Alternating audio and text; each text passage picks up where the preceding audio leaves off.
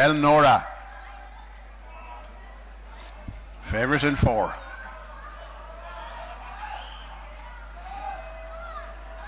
And she doesn't break well. It's number two. Jet Stream Mags gets a flyer from two. Leads up from six El Nora and one Monochrome Lady around the corner. And Jet Stream Mags has gone clear into the back by three and a half lengths. From six El Nora in second. Then comes one Monochrome Lady heading down towards the third bend. And it's two Jet Stream Mags in front. Six is doing a big run in second. That's El Nora. And turning on to the last bend now. Two Jet Stream Mags being challenged by six.